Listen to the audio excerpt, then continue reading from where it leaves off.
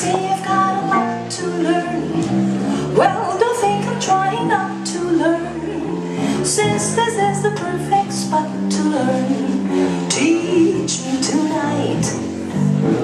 Start up with the ABC of it, right up to the XYZ of it. Help me solve the misery.